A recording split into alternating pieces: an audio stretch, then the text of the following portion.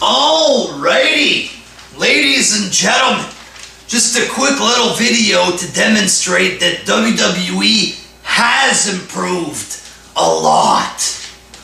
The wrestling has improved, okay, tremendously. It's not as corny, it's not as simple. It's way, way, way better. Look at The Shield last night on Raw. That was a pay-per-view quality match on Raw. The wrestling is improving. Um, the wrestlers are taking more risks. They're doing suicide dives, throwing each other like over the ropes like Zack Ryder. You didn't see it look so dangerous, you know. It doesn't seem like much, but it's an improvement. Big, you know, flying suplexes off the, the top ropes and stuff. They are taking more risks better moves. They're bringing back old school moves as well. More hardcore. Um, new stars are being pushed like The Shield and a bunch of others. It's less G-rated and a lot more badass recently. Not G-rated at all the last couple shows.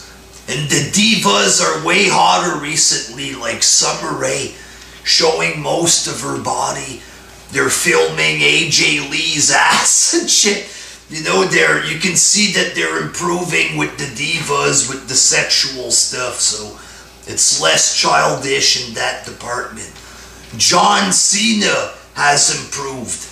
There's other wrestlers that are improving, like Ryback, shit like this. More epic matches per show.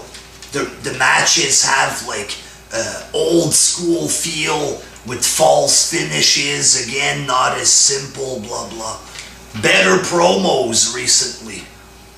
Um, swearing, they've been swearing a lot more. It might seem petty, but that's what people are asking for, for swearing and shit like this.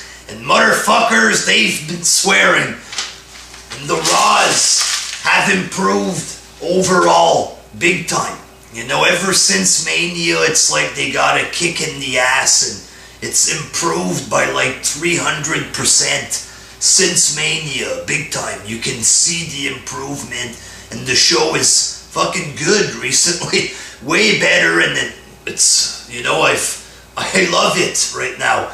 I haven't been into the product as much, you know, the last couple years, but right now I feel excited to be a fan. Yes, straight up. Not afraid to admit it though. Yeah. Alright, until next time. Peace.